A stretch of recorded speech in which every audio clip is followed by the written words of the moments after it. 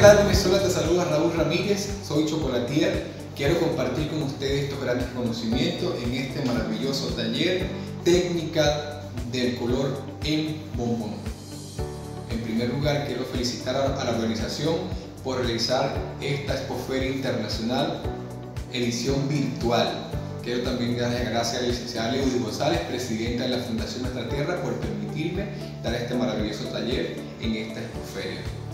Vamos a compartir estos grandes conocimientos porque pintar bombones es darle alegría, darle emoción a nuestros ricos y deliciosos bombones.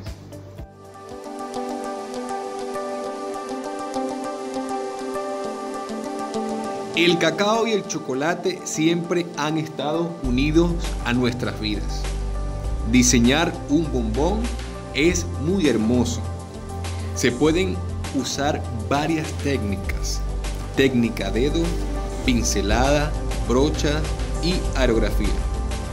Cada bombón refleja una linda historia que cada paladar descubre.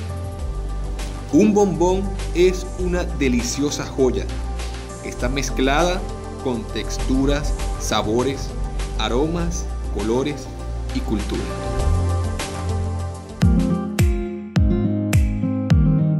Para hacer nuestros diseños de bombones debemos tener en nuestra mesa nuestros pinceles, por supuesto nuestros colorantes hidrosolubles, nuestros colorantes liposolubles que son solubles en grasas, hay de distintos tipos.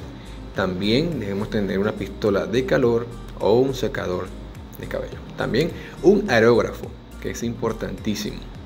Por supuesto, nuestros moldes bien pulidos y nuestra manteca de cacao. Dicen que el agua y el aceite no se mezclan. Hoy, gracias a nuestro gran chef Samuel Herrera por compartir estos grandes conocimientos, hemos aprendido a mezclar colorantes hidrosolubles con manteca de cacao.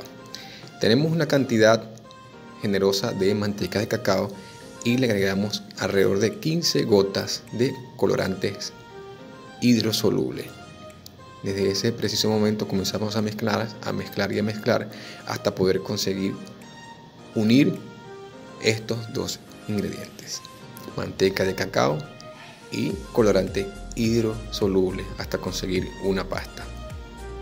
Seguidamente tenemos la preparación de los colorantes liposolubles. Estos son, estos son un poco más fáciles de trabajar. ¿Por qué? Porque el colorante es en polvo y por supuesto como dice el nombre liposoluble que es soluble en grasas. Entonces lo que hacemos es agregar aproximadamente dos cucharadas de colorante liposoluble en una gran cantidad de manteca de cacao. Mezclamos hasta conseguir el color correspondiente en primer lugar, lo que tenemos que tener es nuestros moldes totalmente pulidos y lo podemos pulir con algodón o con pañuelos de microfibra. Por supuesto, con nuestra pistola de calor vamos a fundir nuestros colores. Debemos fundir la primera capa de colorante ya fraguada para alcanzar una temperatura aproximadamente de 45 a 50 grados. Con ayuda de nuestros pinceles vamos a tratar de mezclar el color fundido con el color que está fraguado hasta poder bajar la temperatura. Luego vamos a aplicar, una vez eh, que tengamos la temperatura baja, vamos a aplicarle un toque más de calor para alcanzar una temperatura de 30 o 32 grados centígrados. Aquí lo estamos haciendo sin termómetro, pero la textura que puede tener cada color te va a indicar a qué temperatura encontramos. Luego vamos a comenzar la técnica de salpicada. Esta técnica es una de las técnicas más utilizadas en nuestros bombones. Consiste en eh, bajar nuestros moldes y con ayuda de nuestro pincel de celdas gruesas vamos a tratar de salpicar en cada una de nuestras cavidades para conseguir lluvias de colores en nuestro molde. Por supuesto, en cada capa de color que apliquemos en nuestros moldes debemos dejar fraguar para poder aplicar la siguiente capa. todos los diseños que hagamos tienen que tener un fondo. Si vamos a usar colores claros, debe tener un fondo oscuro. Y si vamos a usar colores oscuros, debe tener un fondo claro. Hoy estamos usando en esta parte la técnica de pincelado.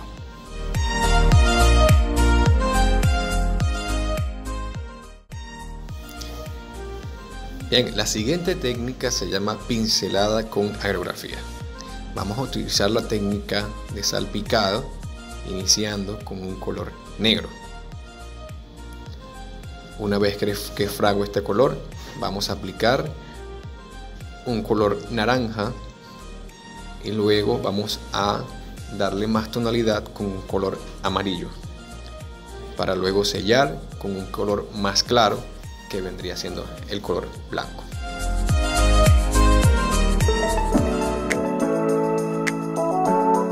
Y esta siguiente técnica es una de las técnicas más actualizadas que se llama técnica aterciopelado o técnica velve. Esta técnica consiste en, una vez que tengamos nuestros bombones ya fraguados, lo llevamos a la nevera aproximadamente 20 a 25 minutos. Dejamos que enfríen muy bien mientras preparamos nuestro aerógrafo con nuestros colores. Luego retiramos de la nevera, llevamos a una bandeja y comenzamos a aplicar color en nuestro bombón. Y él va a ir tomando esta textura como aterciopelada. Podemos jugar o combinar muchos colores.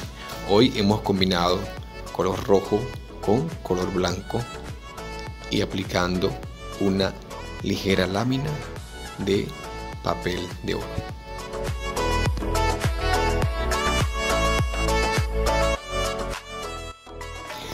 También tenemos otra forma maravillosa de pintar nuestros bombones, que son bombones metalizados.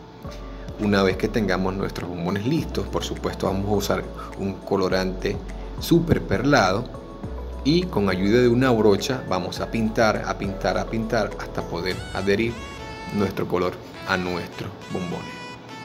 Y van a quedar con colores metalizados en forma de oro o en forma de bronce y también de plata.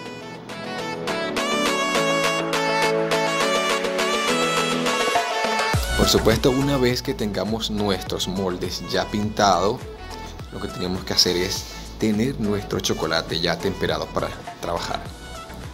También tener nuestros rellenos dependiendo de cada color que podamos aplicar o cada diseño en nuestros bombones. Luego vamos a temperar, vamos a hacer nuestras camisas de los bombones.